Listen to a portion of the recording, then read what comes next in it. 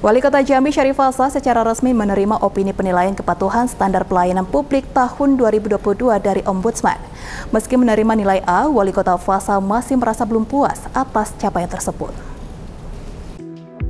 Pemerintah Kota Jambi secara resmi menerima penganugerahan opini pengawasan terhadap hasil penilaian kepatuhan standar pelayanan publik tahun 2022 dari Ombudsman RI. Penganugerahan tersebut diberikan secara langsung oleh Ketua Ombudsman RI Muhammad Naji kepada Wali Kota Jambi Syarif Fasa pada Selasa 31 Januari 2023 di Rumah Dinas Gubernur Provinsi Jambi.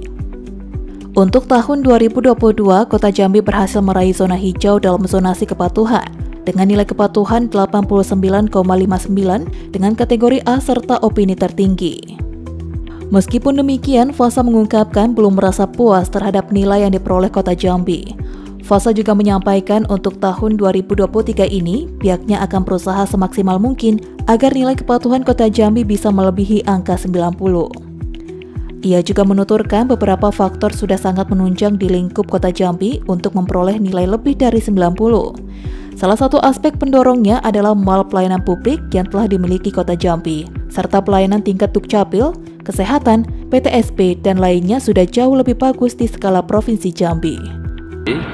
Dan Alhamdulillah itu, itu juga sebetulnya kami belum puas karena masih di bawah 90. Ya, insya Allah nanti di tahun eh, 2023 ini kita bisa di atas uh, 90 ya karena faktor-faktornya sudah menunjang karena kita sudah memiliki mall pelayanan publik salah satu Eh, pendorongnya juga dan pelayanan untuk di tingkat dukcapil, kemudian kesehatan, PTSP dan beberapa yang lainnya juga sudah uh, sudah masuk juga di Menpan RP juga dengan dengan kondisi BB kalau salah ya di apa di Menpan RP BB.